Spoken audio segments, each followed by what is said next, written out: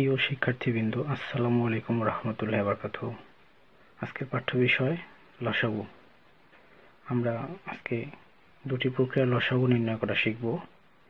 তার আগে আমরা জানি যে লসাগু এর পূর্ণরূপ লঘিষ্ঠ সাধারণ গুণিতক যে দুটি প্রক্রিয়া আমরা লসাগু নির্ণয় করা শিখব, সে দুটি, একটি হলো মৌলিক গুণনীয়কের সাহায্যে লসাগু নির্ণয় এবং অপরটি হলো ইউক্লিডীয় প্রক্রিয়ায় লসাগু নির্ণয়।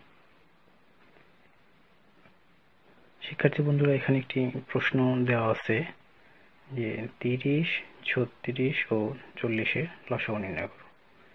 আমরা এই অঙ্কটি প্রথমে মৌলিক গুণনীয়কের সাহায্যে কীভাবে লসাগু নির্ণয় করতে হয় সেই প্রক্রিয়া দেখব এবং পরবর্তীতে ইউক্লিডীয় প্রক্রিয়া কীভাবে লসাগু নির্ণয় করতে হয় সেটাও দেখব। চলো তাহলে সমাধান করি যে এখানে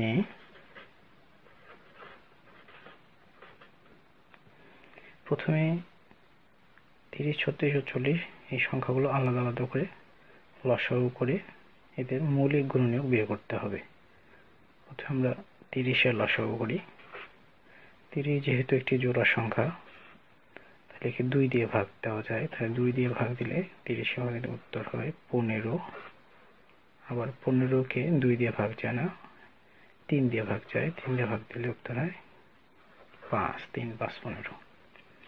এভাবে আমরা ছত্রিশেরও লসাগু করব।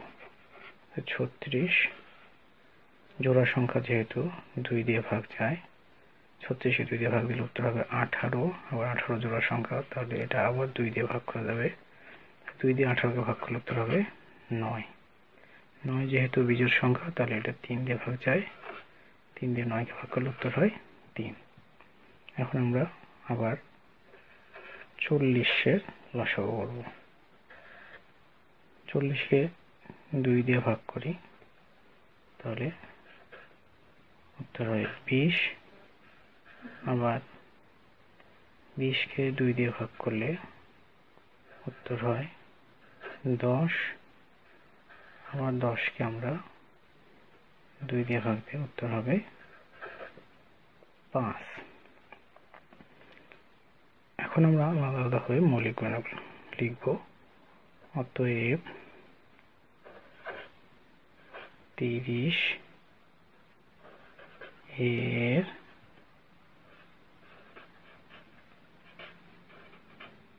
মৌলিক গুণনীয়ক। তিরিশ মৌলিক কত পেলাম? দুই, তিন, পাঁচ। কমা কমা দিয়ে লিখব আমরা। দুই, তিন, পাঁচ। এরপরে ছত্রিশ। ছত্রিশের মৌলিক গুণনীয়কগুলো হলো দুইটা দুই এবং দুইটা তিন। এরপরে চল্লিশের মৌলিক গুণনীয়কগুলো পাই। তিনটি দুই, এক, দুই, তিন এবং একটি পাঁচ। আমরা তিরিশ, ছত্রিশ এবং চল্লিশের মৌলিক গুণনীয়কগুলো পেলাম। এখন আমরা এই গুণনীয়কগুলো তুলনা করব। গসাগুর সময় আমরা শুধুমাত্র যে সকল গুণনীয়ক মিল ছিল বা সাধারণ গুণনীয়ক যেগুলো ছিল, সেগুলো নিয়েছিলাম। এখানে আমাদের সবচেয়ে বেশি সংখ্যক বার যেখানে আছে সে সংখ্যাগুলো নিতে হবে। যেমন তিরিশের মৌলিক গুণনীয়ক দুই আছে একবার, ছত্রিশের মৌলিক গুণনীয়ক দুই আছে দুইবার, চল্লিশের মৌলিক গুণনীয়ক দুই আছে তিনবার। তাহলে আমাদের সর্বোচ্চ সংখ্যক দুই তিনবার আছে, সেটি নিতে হবে। তাহলে আমরা লিখি যে অতএব তিরিশ, ছত্রিশ ও চল্লিশ এর লসাগু। আমরা পাই সর্বোচ্চ সংখ্যক বার, দুই আছে তিনবার তাহলে আমরা গুণ গুণ আকারে লিখব যে দুই গুণন দুই গুণ দুই। এরপরে তিন। তিন তিরিশের গুণনীয়ক একবার, ছত্রিশের দুইবার, চল্লিশের নেই।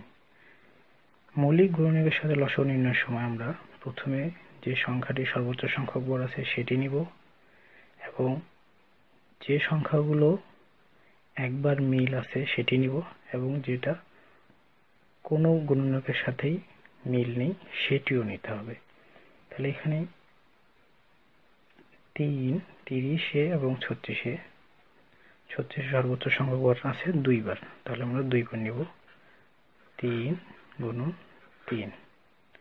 এবং পাঁচ, তিরিশের মৌলিক গুণনীয়ক পাঁচ, ছত্রিশের মৌলিক গুণনীয়ক পাঁচ নেই এবং চল্লিশের মৌলিক।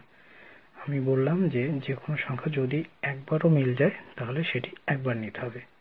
আর যদি কোনো মিল না যে একটি সংখ্যা থাকে, সেটিও নিতে হবে। তাহলে এখানে পাঁচ মিল আছে একবার, তাহলে এখানে যে কোনো দুইটা থেকে একটি নিতে হবে। গুণ পাঁচ। এখন আমরা এই সংখ্যাগুলো গুণ করলে পাই।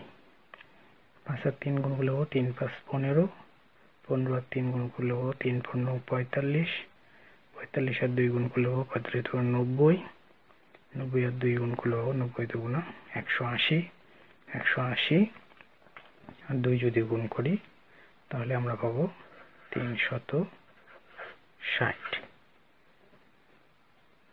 তাহলে আমাদের উত্তর তিরিশ, ছত্রিশ চল্লিশের লসক আমরা পেলাম তিনশো ষাট। তাহলে অতএব আমাদের মৌলিক গুণের সাহায্যে লসাগু নির্ণয় করা শিখলাম, যা তিরিশ ছত্রিশ চল্লিশের লসাগুয়ের উত্তর হলো তিনশো ষাট।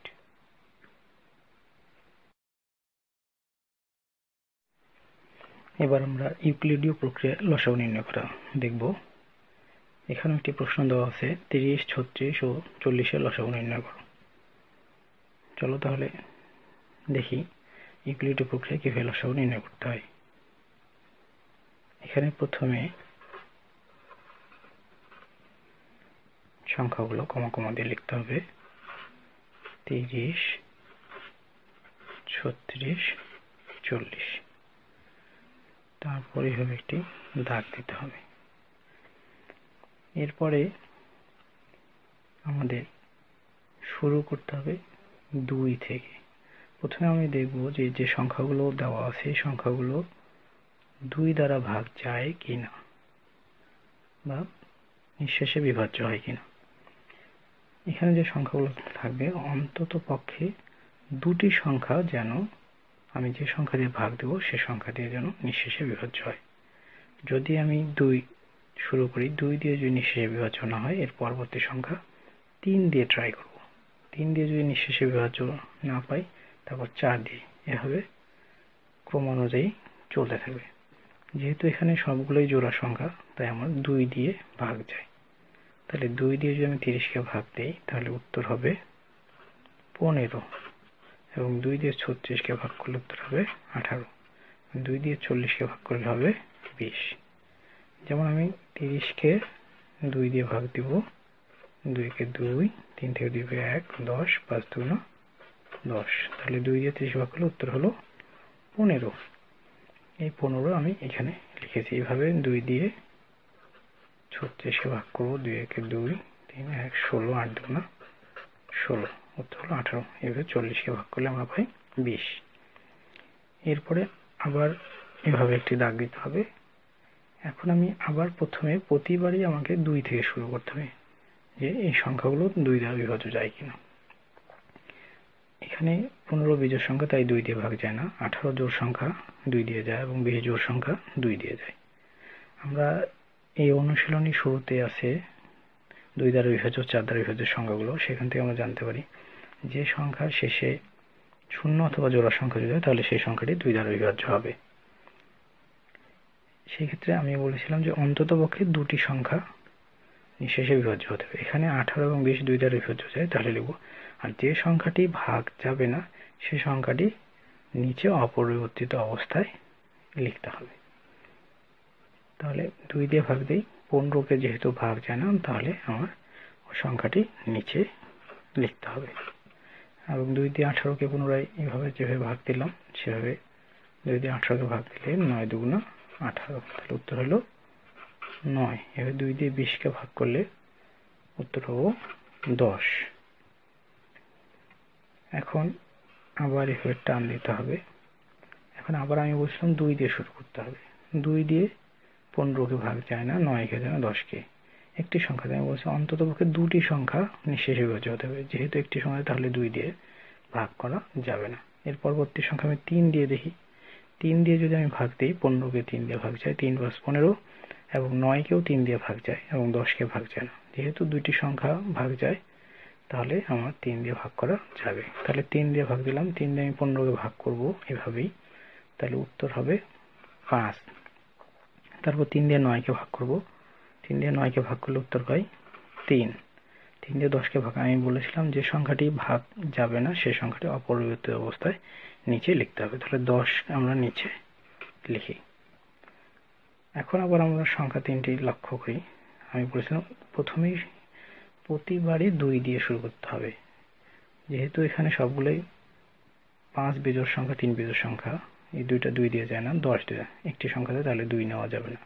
এখন তিন দিয়ে দেখি, তিন দিয়ে পাঁচকে ভাগ যায় না, তিন দিয়ে শুধু তিনকে ভাগ যায় এবং দশকে যেহেতু তিন দিয়ে একটি সংখ্যা হবে, তাহলে তিনও নেওয়া যাবে না। চার দিয়ে পাঁচ ভাগ যায় না, তিন যায় না, দশ, তাহলে চার দিয়েও যাচ্ছে না। এর পরবর্তী সংখ্যা আমি পাঁচ দিয়ে দেখি। পাঁচ দিয়ে পাঁচকে ভাগ করলে যায়, তিনকে যায় না এবং দশকে ভাগ।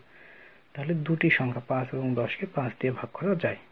তাহলে শর্ত অনুযায়ী যেহেতু দুটি সংখ্যাকে পাঁচ দিয়ে ভাগ করে, তাহলে আমার এটা পাঁচ দিয়ে ভাগ করা যাবে। তাহলে পূর্বের নেভের টান দিয়ে সামনে পাঁচ লিখব, পাঁচ দিয়ে পাঁচকে ভাগ করব, উত্তর হবে এক। বলেছিলাম যে সংখ্যাটি ভাগ যাবে না, সে সংখ্যাটি অপরিবর্তিত অবস্থায় নিচে থাকবে। তাহলে পাঁচ দিয়ে তিনকে ভাগ দিলাম, তাহলে তিন নিচে থাকল, পাঁচ দিয়ে দশকে ভাগ করলে উত্তর হলো দুই। এখন আমার সবগুলো সংখ্যাই আলাদা আলাদা, এক, দুই, তিন। যেহেতু এই সংখ্যাগুলো আলাদা আলাদা, কোনোটাই আর কারোর সাথে মিল নেই, সেহেতু আর এরা নিঃশেষে ভাগ যাবে না। এখন আমাকে এই যে সংখ্যাগুলো পেলাম, এই সংখ্যাগুলো এল আকারে শুরু থেকে শেষ পর্যন্ত এক বাদ দিয়ে সবগুলো সংখ্যা গুণ আকারে লিখতে হবে। তাহলে আমরা পাই যে অতএব তিরিশ, ছত্রিশ এবং চল্লিশের লসাগু, আমি কি বললাম যে এল আকারে শুরু থেকে শেষ পর্যন্ত সবগুলো সংখ্যা গুণ আকারে লিখতে হবে, এক বাদ দিয়ে। তাহলে শুরু থেকে আমাদের প্রথমে আছে দুই গুণন তারপর আবার দুই, তারপর আছে তিন, গুণ আছে পাঁচ, আবার গুণ আছে তিন, গুণ আছে দুই। আমি বলেছিলাম যে একবার দিয়ে সবগুলো সংখ্যা লিখতে হবে এবং গুণ এই সংখ্যাগুলো এখন আমি গুণ করে দেব। তাহলে গুণ করি দুই আর তিন গুণ তিন গুণ ছয় ছয় সাথে পাঁচ গুণ পাঁচ ছয় তিরিশ তিরিশ আর তিন গুণ তিন, তিরিশে নব্বই নব্বই আর দুই গুণ নব্বই দুগুণ একশো আশি একশো আশি আর দুই গুণ করলে তিনশো ষাট। তাহলে আমরা তিরিশ, ছত্রিশ এবং চল্লিশের লসক হলাম তিনশো ষাট। আমরা দেখেছি যে মৌলিক গুণনীয়কের সাহায্যে আমরা একই অঙ্ক করেছি, লসাগু। সেখানে আমরা দেখেছিলাম যে তিরিশ এবং চল্লিশের লসাগু উত্তর হয়েছে তিনশো ষাট। এক্ষেত্রে ইকুলিডীয় প্রক্রিয়াও লসাগু উত্তর হলো তিনশো ষাট আমরা যে কোনো পদ্ধতিতে লসাগু নির্ণয় করতে পারি। তবে যদি প্রশ্নে উল্লেখ থাকে যে মৌলিক গুণনীয়কের সাহায্যে লসাগু নির্ণয় করো অথবা ইউক্লিডীয় প্রক্রিয়া লসাগু নির্ণয় করো, তাহলে অবশ্যই যে প্রশ্নে দেওয়া তথ্য মতে লসাগু নির্ণয় করতে হবে। যদি মৌলিক গুণনীয়ক বলে, তাহলে মৌলিক গুণনীয়কের সাহায্যে লসাগু নির্ণয় করতে হবে। আর যদি ইউক্লিডীয় প্রক্রিয়া বলে, তাহলে ইউক্লিডীয় প্রক্রিয়া লসাগু নির্ণয় করতে হবে। আর যদি প্রশ্নে কোনো কিছু উল্লেখ করা না থাকে, যদি শুধু বলা থাকে যে লসাগু নির্ণয় করো, তাহলে আমরা আমাদের ইচ্ছা মতো যে কোনো একটি নিয়মে করতে পারব। আশা করি শিক্ষার্থী বন্ধুরা, তোমরা লসাগু নির্ণয় করতে পারবে। ধন্যবাদ।